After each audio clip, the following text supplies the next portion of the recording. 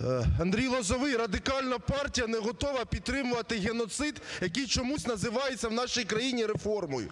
Зверніть увагу, фактично всі фахові професійні лікарі, всі світила професії, всі наші великі ескулапи, вони не підтримують, це просто знущання над українцями, позбавлення їх конституційного права на медичне забезпечення. Зверніть увагу, доповідає не голова профільного комітету, доктор медичних наук Ольга Богомолець.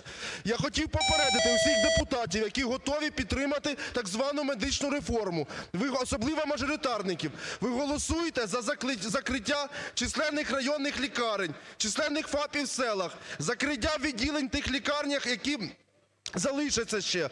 Ви голосуєте за те, що будуть звільнені тисячі вузькопрофільних фахівців по всій країні. Ви голосуєте за те, щоб старші люди, особливо в селах, не мали можливості доїхати в інший район лікарню, бо їхньому районі лікарні не буде. Це знущання над людьми. Наша позиція – дати е, людям доступну медицину і дати лікарю